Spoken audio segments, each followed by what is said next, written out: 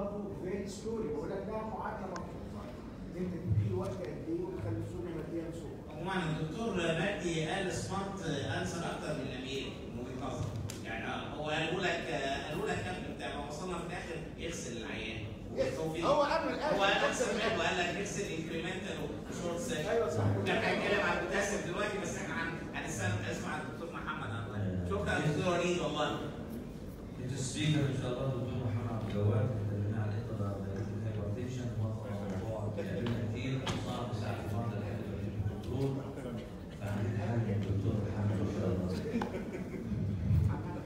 الرحمن الرحيم طبعا هنتكلم عن موضوع من المواضيع اللي بتبقى جدا بالنسبة لنا بالنسبة للعيانين بتوعنا intradialytic hypertension اللي هو العيان بتاعنا بيبقى داخل بضغط معين وفي نص الجلسة وفي آخر الجلسة بنلاقي الضغط بتاعه ابتدى يعلى.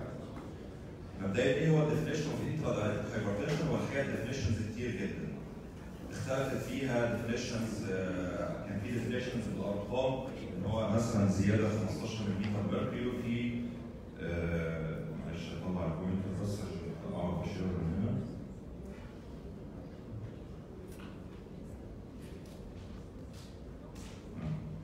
في definitions بالأرقام في definitions بالنسبة. ال definitions كتير جدا لكن الحقيقة هو ببساطة شديدة ال definitions كلها definition واحد ان العيان ال blood pressure بتاعه في آخر الجلسة ده أعلى من أول الجلسة. ومش شرط إن العيان يكون داخل بال blood pressure بتاعه من الأول normal ممكن أصلا يكون داخل بال blood pressure بتاعه عادي. فهو ال hypertension ال intradialytic hypertension هو العيان ضغطه آخر الجلسة أعلى من أول الجلسة whatever هو داخل الجلسة ضغطه عالي أو واطي. إن هو theoretically المفروض إن العيان في آخر الجلسة ضغطه يبقى أقل من أول الجلسة لأن أنا سحبت volume من المريض بتاعي. إيه مشكلة أصلا ال intradialytic hypertension قبل ما نتكلم في ال pathophysiology إحنا ممكن نخلي النور مولع يعني هو إحنا شغالين بشاشة فمش محتاجين نطفي النور لو استأذنك نخلي النور مولع. ممكن نخلي النور. إيه مشاكل ال intradialytic hypertension؟ مشاكل ال intradialytic hypertension in general طبعا طبعا بسرعة كده ان بيزود ضغط ال ventricular mass إحنا عارفين مشاكلها قد إيه. نمرة اثنين طبعا بيزود ال mortality دي ما فيهاش مش- كلام طبعا. ال pathophysiology بتاعه معروف وكلنا عارفين ال steps بتاعته. وفي كل ال literature منشور ال volume overload ال sympathetic hyperactivity ال RAAS system ال endothelial dysfunction صوديوم كالسيوم بوتاسيوم ال ESA therapy ال dialyzability بتاعت ال antihypertensive medications وال vascular status أنا المفروض إن أنا همسك كل حاجة من ال pathogenesis دول أو ال evidence بتاعهم المفروض أعالجه إزاي. بس مبدئيا زيادة عليهم most recent حاجة منشورة إن بعض العيانين ده أو اللي بيبقى معاهم hypertension بيبقى معاهم low arterial saturation of oxygen قبل ما ابتدي اتكلم بال articles اللي هبتدي اتكلم عليها من ال literature للأسف أغلب أو تقريبا معظم أو كل ال articles اللي هتكلم فيهم بدل ما أعمل appraisal لكل article كلهم mix of evidence أغلب ال studies اللي أنا هتكلم فيها كلها small number of patients 15 20 عيان. يعني العيانين يعني هم اثنين study تقريبا اللي هجيبهم اللي فيهم أكتر من 100 عيان. نمرة اثنين conflicting and contradictory results يعني في حاجات هتلاقي تقول ال endothelin عالي وحاجات مثلا لأ حاجات تقول الكالسيوم يعمل حاجات تقول لأ ففي results مختلفة. نمرة ثلاثة ال study design may not be strong enough. ولكن للأسف هو ده ال available evidence الموجود وأنا مضطر أستخدمه عشان أطلع منه suggestions وبمناسبة ال evidence طبعا إحنا يعني هطلع بره ال- ال- القصة بتاعتي إن إحنا المفروض ودي الدكتور عميد على طول بيتكلم فيه إن إحنا لازم أي study اطلع أعرضها لازم أقراها كويس اعمل لها appraisal لأن ال study نفسها ممكن يكون ال design بتاعها غلط. يعني أنا هتكلم كده عن حاجة منتشرة على الفيسبوك study منتشرة على الفيسبوك بقى لها أسبوع effect of shawarma in preventing and treating major depressive disorders. اظن حضرتك سمعت كده شاورما بيتكلموا على الشاورما تمام؟ مبدئيا قبل ما اكمل الكلام هي دي Photoshop ولكن انتشرت انتشار رهيب وكان في ناس مصدقة أصلا إن في ناس بعتت تسألني إيه ده ال study دي حقيقية؟ فإحنا دول عدوا مرحلة يعني إحنا في ناس كتير يبتدي ياخد ال abstract وياخد المعلومة بتاعته من ال abstract. ده عدى مرحلة إنه بياخد المعلومة من ال abstract بقى بياخد المعلومة من العنوان فقط لا غير. يعني أنا يمكن حابب اعمل appraisal لل trial دي مع حضرتك تمام؟ يعني لو بصينا كده هو قارن الشاورما بال antidepressant drugs اثنين سندوتش شاورما قدام ال antidepressant drugs اولا هو ما حددش الشاورما فراخ ولا لحمة. نمرة اثنين هو لا الكلام ده appraisal بجد. نمرة اثنين هو معهاش الشاورما ساده ولا معاها تومية ولا ممكن يكون ال effect من الحاجات اللي معاها زي بالظبط ما الواحد يجي يقول لك إحنا عملنا له very low protein diet وال GFR اتحسن. هو حضرتك ال GFR اتحسن. لأن أنت ما اديتلوش بروتين نمره اثنين ال study design كان ثمان اسابيع وده مش كفاية إن ال antidepressant يدي إيه؟ يدي effect. وأخيرا هو قال conclusion إن ده خلاص ده رد قاطع إن الشاورما أحسن من ال antidepressant. وحاجه مهمه يا جماعة لازم نبص برضه على الناس اللي عملوا ال study يعني إحنا لو بصينا الناس المكتوبة ال authors كريستيانو رونالدو ليونيل ميسي واصغر تمام؟ طبعا. ده ده تهديد يا جماعة فين محمد صلاح؟ يعني فهي الاستادي كلها فايروس هو آه باي اكسبت وبين على المستوى الشخصي هي الرسم فالقصد ان إحنا لازم اي ستادي إن إحنا نعمل لها كريتيكال بس نرجع بقى للموضوع بتاعنا اللي أنا رتبت الحاجات بتاعتنا اللي أنا هستخدمها بالترتيب المنطقي. نمره واحد بقى هو الفوليوم اوفرلود طبعا ال evidence موجود في كل ال literature من قديم الازل واولهم إن ال volume overload هو سبب من أسباب ال intradialytic hypertension. أغلبهم والجديد دايما بيستخدموا ال bioelectrical impedance أو ال bioimpedance اللي هم عند دكاترة التغذية اللي هو عندي واقف على الجهاز عشان أعرف نسبة الجسم فيه كام fat فيه كام بروتين فيه كام مية. العيانين اللي في ال study دول كانوا حوالي 131 عيان. العيانين اللي كانوا بيبقى عندهم intradialytic hypertension أغلبهم أو النسبة الأغلب منهم كان ال extracellular water على ال total body water كانت نسبتها عالية جدا.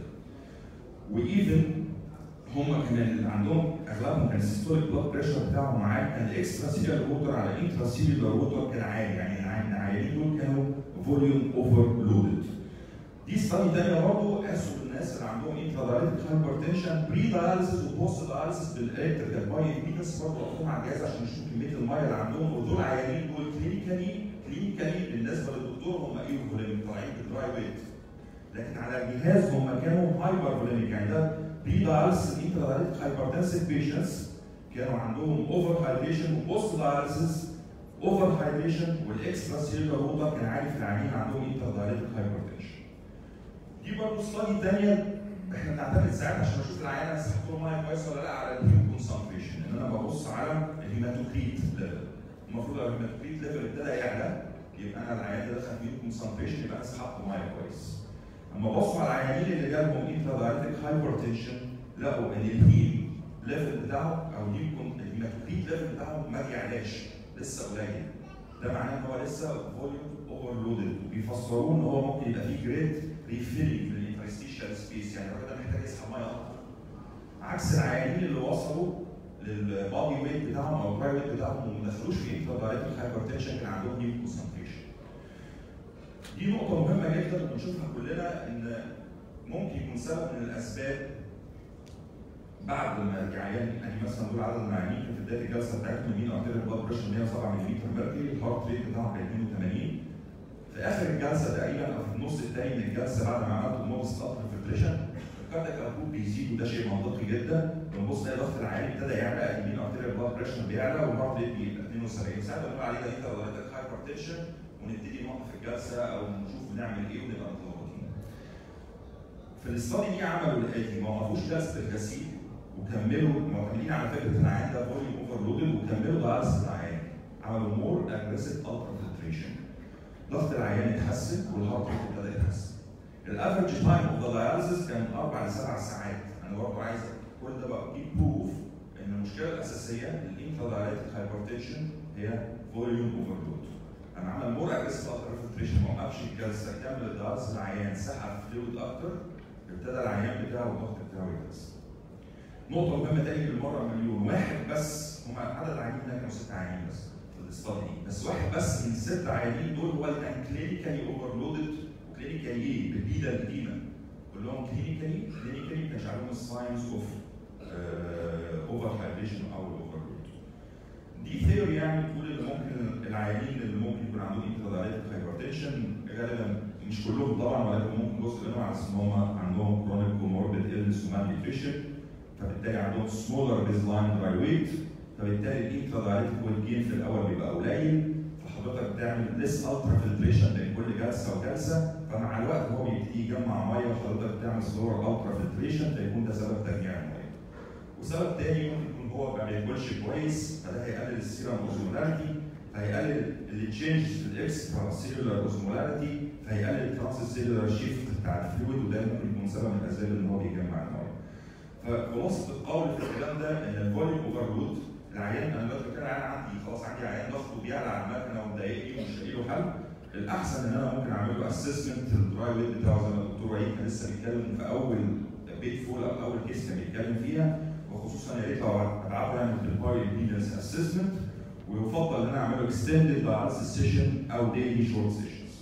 الحاجة الثانية اللي ممكن تعمل intradialytic hypertension هي ال net sodium آه، دول 206 عيان دخلوا جلسة صوديوم معين طلعوا صوديوم معين ده change in sodium في ناس الصوديوم بتاعهم زاد 1 millimole per liter في ناس زادوا 2 في زاد ناس زادوا 4 الأغلبية 40% زاد 1 ملي مول في ناس ما زادوش خالص.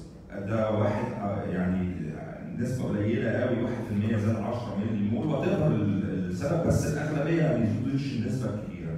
ولكن ممكن زيادة الصوديوم by evidence زياده الصوديوم من بداية الجلسه ونهاية الجلسه سبب رئيسي في زيادة ال systolic blood pressure وسبب زياده وسبب رئيسي في زيادة ال interdialytic gain فبالتالي العيان بتاعي اللي ممكن يكون عنده intradialytic hypertension ممكن ممكن يكون ال predialytic sodium level بتاعه قليل فده ممكن عيان ان أنا اقيسه ممكن أقيسه ال predialytic sodium level واعمل له assessment عشان exclude إن هو ده يكون السبب إن الضغط بتاعه عالي ومستمر.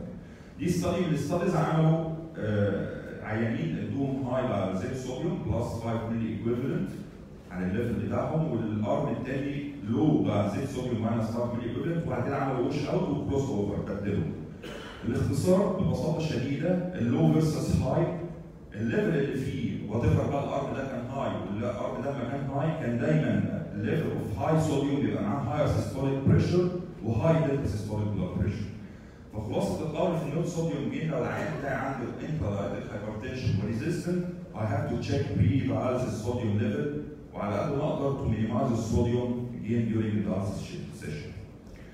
النقطة الثالثة ريموفر في الانتي هايبرتنسيف ميديكيشنز خلاص ده slide كلنا عارفينها ومعروفة إيه الأدوية اللي بيحصل لها dialyzability والادوية اللي ما بيحصلهاش ال ARBs ما بيحصلهاش.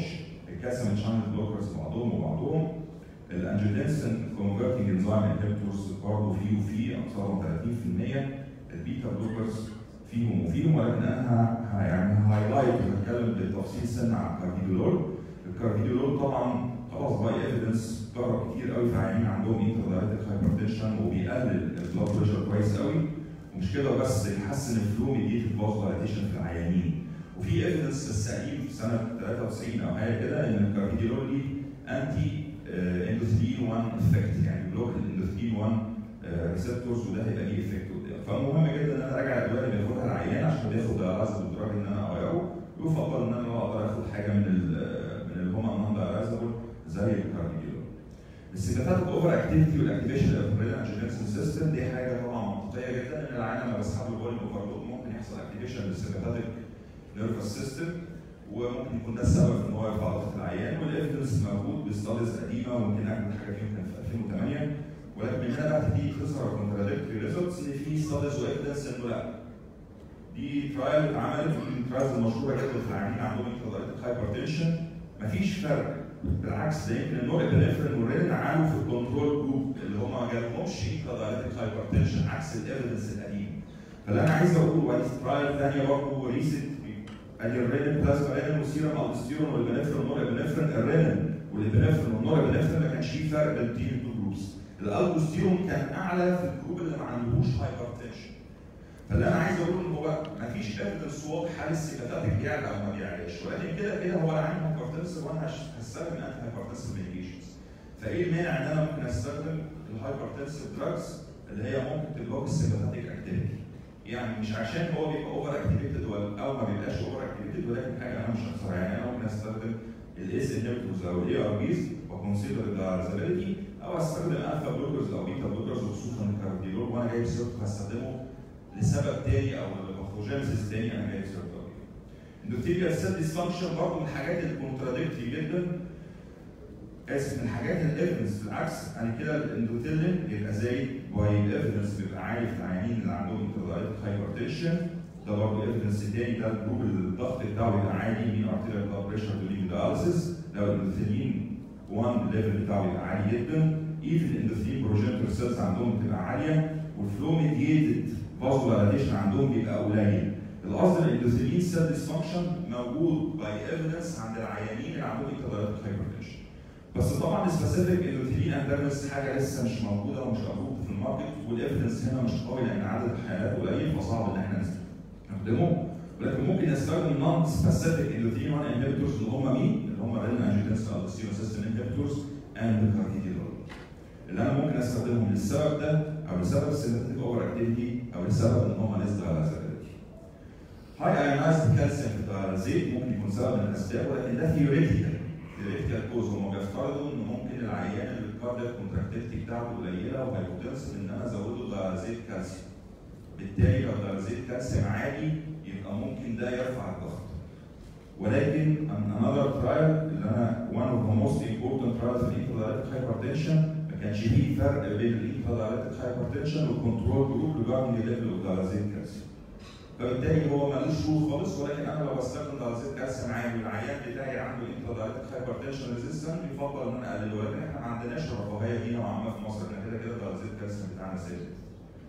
ال hypokalemia برضه من الحاجات اللي ال evidence بتاعها قليل جدا ال low level of potassium في ال dialysate ممكن يعمل intradialytic hypertension ولكن ال evidence الجديد في ال studies الأجدد إن ليس له أي قيمة وما فيش أي فرق ان العيانين اللي عندهم hypertension وما عندهمش ولكن برضه ده لا يمنع إن العيان بتاعي لو عنده resistant intradialytic hypertension إن أنا استبعد عن ال low dialysate potassium ده نظريا لأن برضه في مصر إحنا عندنا الحاجات دي نوعا ما fixed وال level بتاعه عندنا ما هوش يعني كالسيوم والبوتاسيوم ودي average يعني ولا هم لو ولا له هاي فإحنا الحتة دي نوعا ما مش هتبقى بالنسبة لنا مشكله كبيره.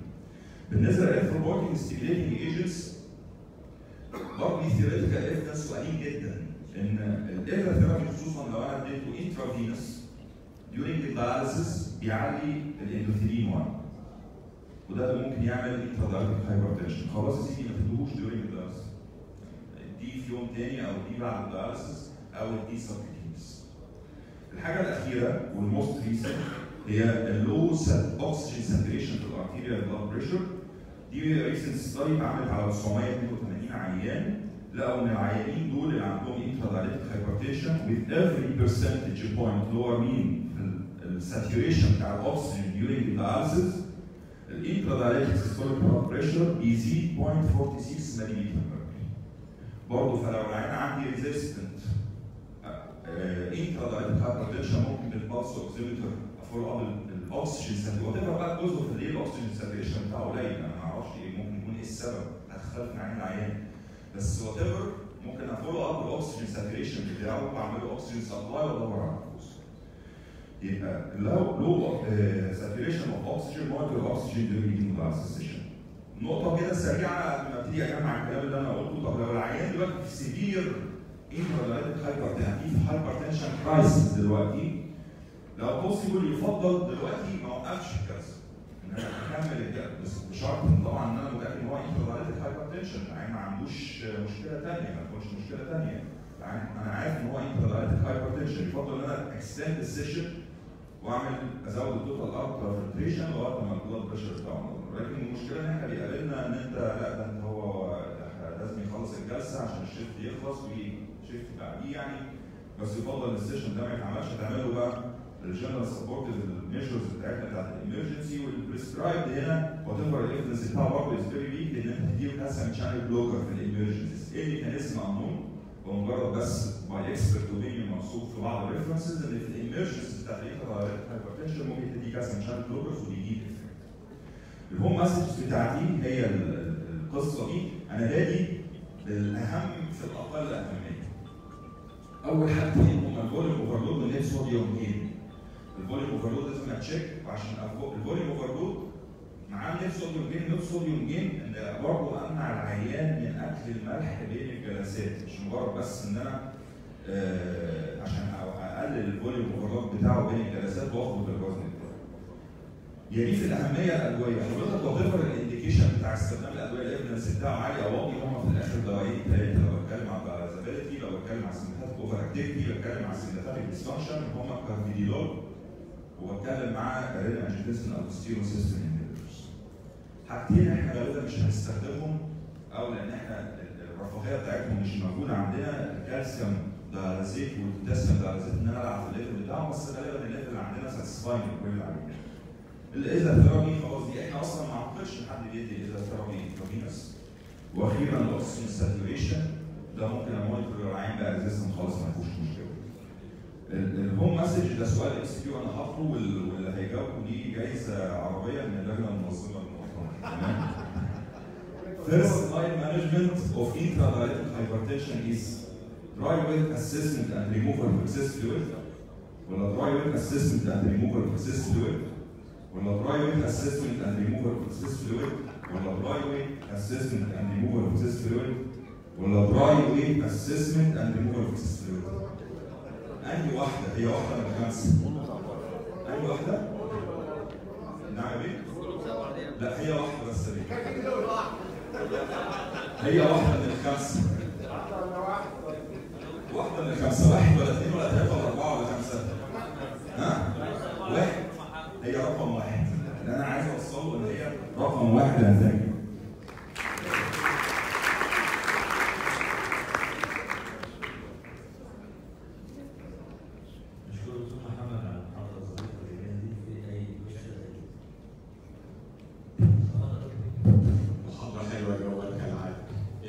المقالة اللي أنت ذاكرها بتاعت نفسه بتاعت لوكادين اللي هي من 2010 وفعلا على موضوع ال fluid overload وال excessive blood volume وهكذا.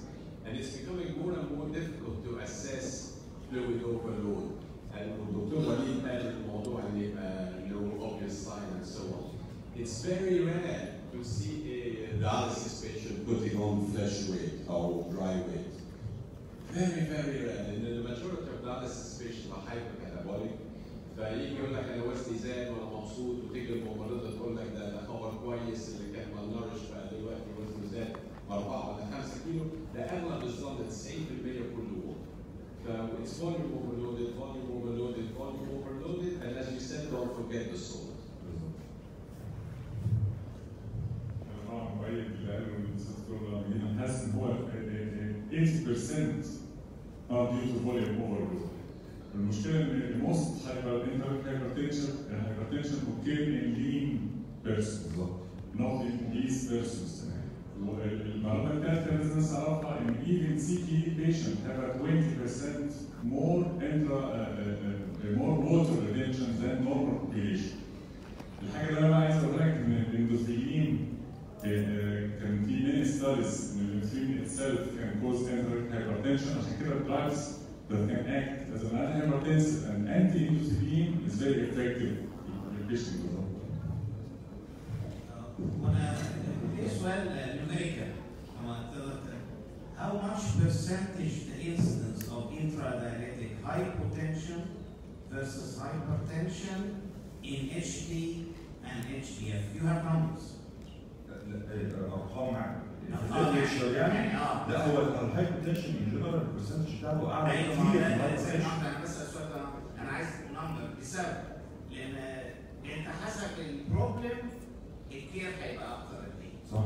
فهو دي نقطة. يعني I am caring for hypertension more than the hyper كام عيان هيبقى عندي hypertension 1% أنا بس أنا ما أعرفش رقم في لك. ال HDF it is nearly both of them is none.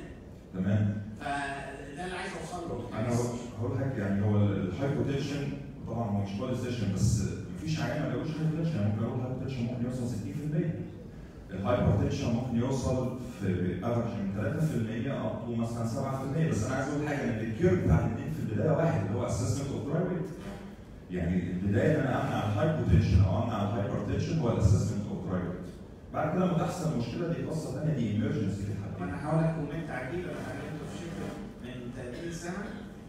آه كنت مخاف من ال base equilibrium والكلام ده.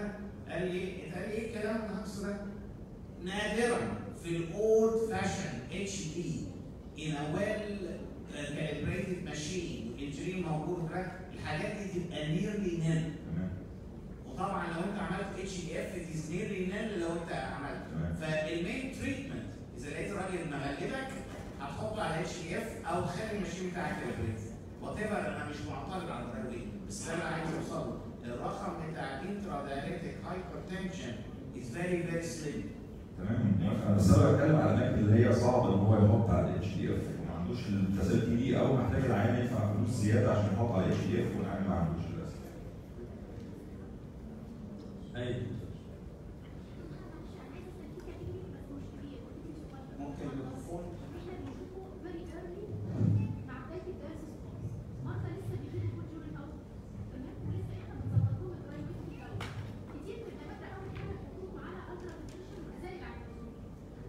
يعني حطوا dry weight بالزياده هو ليه- sorry ultrafiltration بالزياده دول بقى بنشوفهم بيحصل لهم إيه؟ بيحصل لهم hypertension بيجيبوا good urine output بيحصل لهم hypertension نتيجه sympathetic overactivity وأول ما بنظبط ال dry weight ونقلله ال hypertension ده بيحصل. وده مش هيجي كبير بس بنشوف. أيوه أنا عايزة أقول لحضرتك إن مش تملي في كل الحالات هيبقى هو ال over دي قصة ثانية أيوة. ال intradialytic بنتكلم عليه. ال chronic اللي بعد فتره من ال dialysis أنا فاهمه قصد حضرتك بس أنا عايزه أقول بس ان الناس ال early دول دي بنشوف قصه ثانية وبيبقوا بيجيبوا good urine out بالظبط تمام شكرا أيوه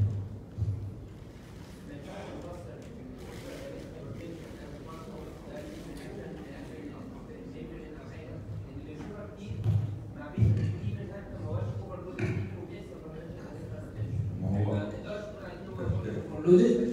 وبنلاقي برضه intra hypertension أكتر من مرة أكتر من session وفي وقت وبنبقى يعني حاجات كده صدف تلاقيها كده مع مريض معين. أنا عارف إن يمكن يكون overloaded هو ال- هو ال reaction من ال membrane أو من الهيبرين أو كده مش هيجيب hypertension hypotension المفروض. يعني مش هيجيب high blood pressure هيجيب low blood pressure وحضرتك تاني هو حضرتك ممكن تتحكم عليه إن هو مش overloaded clinically بس هو فعليا هو overloaded خصوصا لو هي قصة بتتكرر معاك كل جلسه خصوصا حتى أكيد جربت إنك تعمل wash membrane؟ واكيد جربت إنك تغير الهيبرين؟ واكيد جربت إنك تغير ال line؟ فأكيد دي مش anaphylaxis أو reaction من ال membrane. إيه شكرا ليك.